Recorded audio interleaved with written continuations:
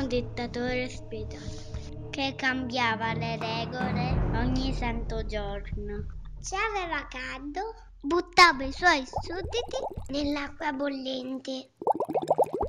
Se aveva freddo, li metteva nel frigorifero. Se dormiva poco, riordinava di bere un litro di whisky al sugo.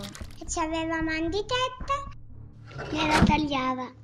Perché un giorno lo buttarono nella grotta delle patatine fritte. Senza regole, però iniziarono a litigare. Tutti volevano fare il bagno in piscina.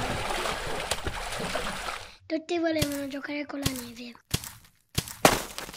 Tutti volevano comandare. Finché un giorno una carota saggia li convocò a una riunione dove le due, tutte insieme, scrissero le loro regole. Da allora vissero per sempre, felici e contenti.